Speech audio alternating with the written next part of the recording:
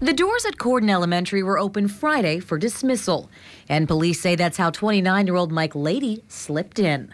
But thanks to a teacher who noticed what appeared to be the butt of a gun in his pocket, Lady was quickly escorted outside. The school went into lockdown, and school resource officer Steve Dooley sprang into action.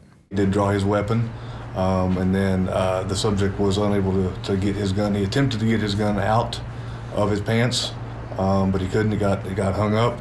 So Officer Dooley holstered his weapon and took him into custody. But before that could happen, Harrison County Prosecutor Otto Schalk says the resource officer tackled the suspect. Only later was it determined Lady, who police say had no business at the school, had been carrying a pellet gun. Officer Dooley running towards a man that he believed uh, to be armed and placing himself in harm's way certainly meets my definition of bravery and heroism. And every parent of a student at South Harrison School Corporation should be grateful that he keeps that he helps keep their children safe. Now, whether or not the threat was real, investigators as well as the superintendent all agree what happened here was handled correctly.